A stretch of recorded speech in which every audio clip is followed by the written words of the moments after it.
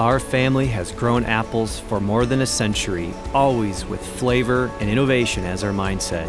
Join me as we explore the Stemilt vision for apples, an imaginary place called Inspiration Orchard.